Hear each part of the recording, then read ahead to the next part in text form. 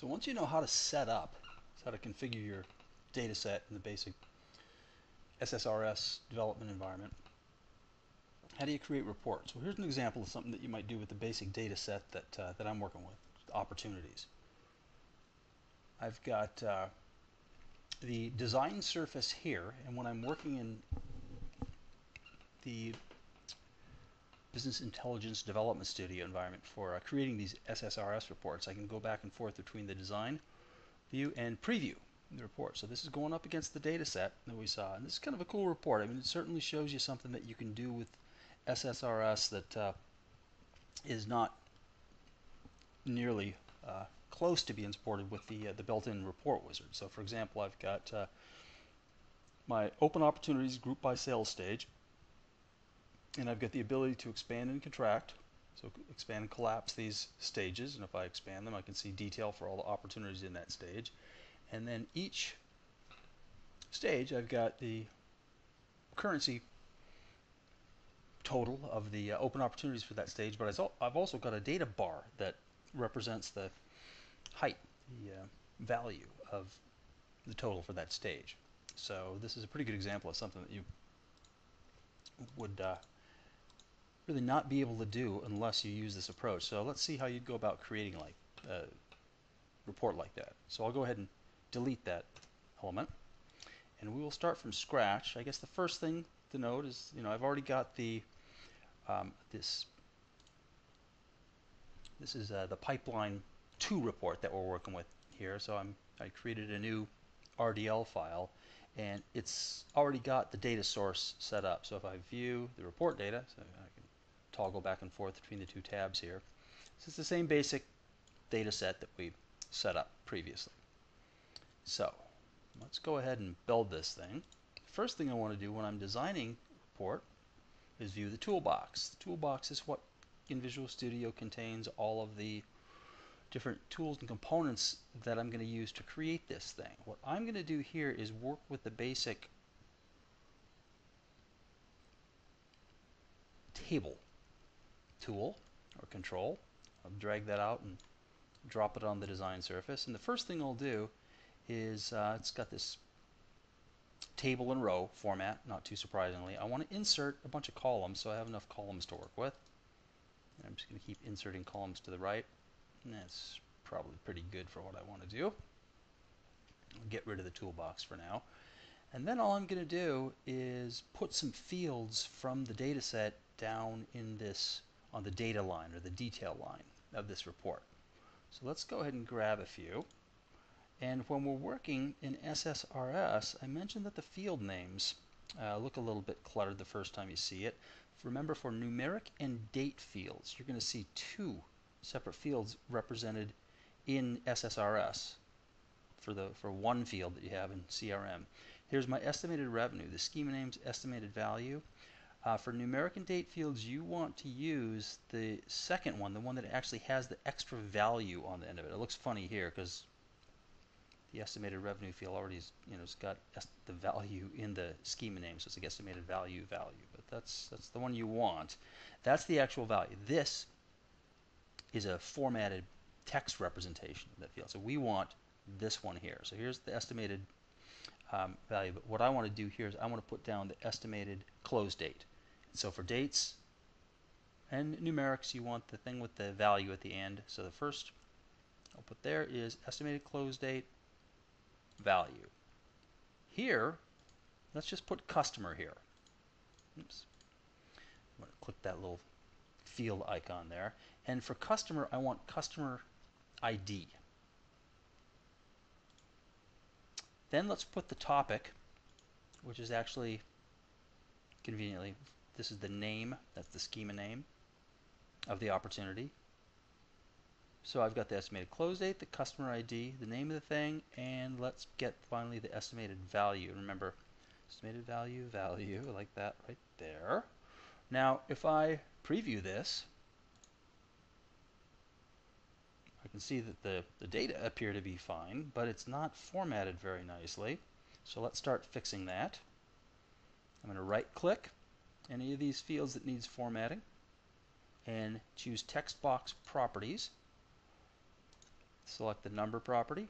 This is a currency, and I'm going to use this comma to separate the thousands places like that. And then I'll do a similar thing for the estimated close date. Right click it, text box properties, always the same thing. Choose the number format here. And in this one I'll choose a date and I like this one right here. Let's see what that does. It's going to strip all the trailing time stuff off the end of that. So this is looking a little bit better. We can do a little bit better than that. Let's sort by estimated close date.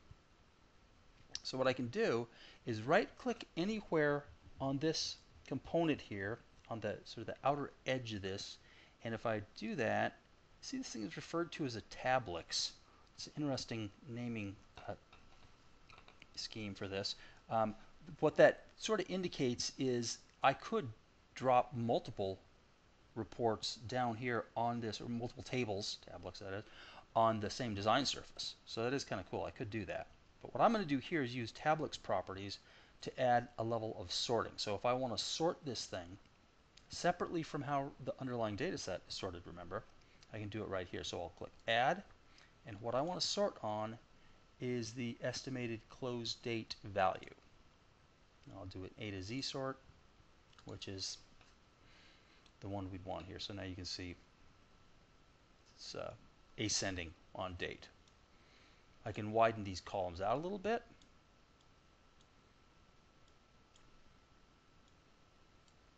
And how about if I give them better names? Estimated close date, estimated close, tab over, call this customer.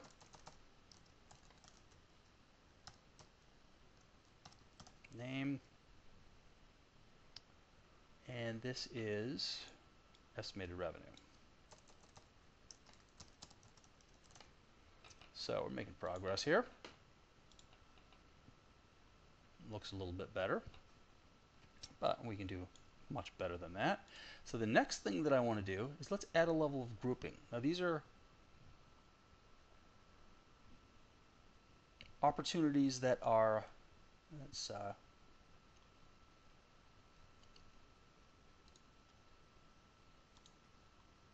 check the Tablix properties and let's look at the filters and let's make sure that we've only got open opportunities in here. So let's add a filter. And the filter expression, in this case, we want to filter on state code. But we actually want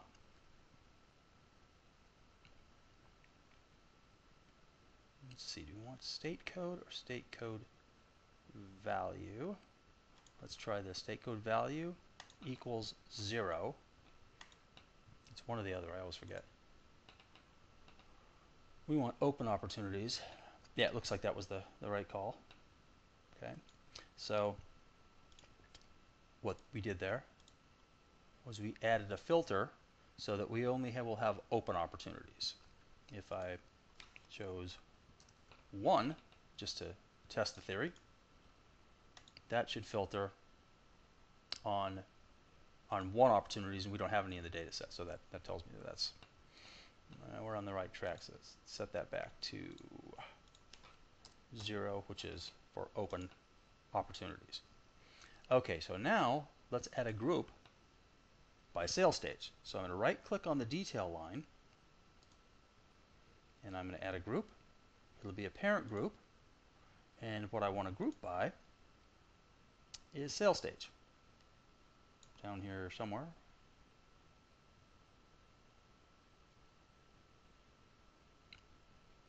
This is going to be the sales stage code. And we'll add a group header and a group footer. We can preview that. So now we've got our qualifies together. There's needs analysis, prepare solution, close making progress here. I guess we can get rid of this first column. Don't need that column. How do we add a total? Remember we added a group header, that's this. We added a group footer, that's this. If I go to the group footer and select a numeric field, as in estimated value value, SSRS will automatically total it. Let's give it a good format. Notice it puts the sum around that. So there I've got the sum. Making progress here. Now, what do we do next? How about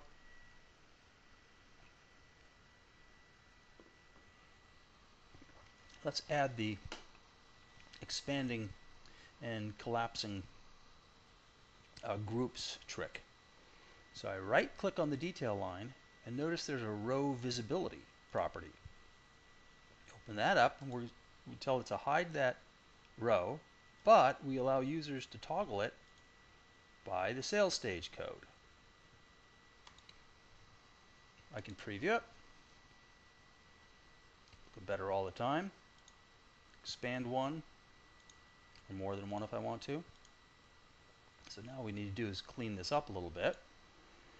One of the things we might want to do is also hide, say, the group header and then put the column headers for the data that only appears on the detail lines inside the group. So you only see it when it's relevant. Select that, put those all down there. Now I right click on that row, use the same row visibility trick, hide it by default, but let users toggle it on sales stage code. And now I don't need to see those headers unless they're relevant, unless I've got some data showing. So that's another kind of a technique that you'll you'll use a lot. You can merge cells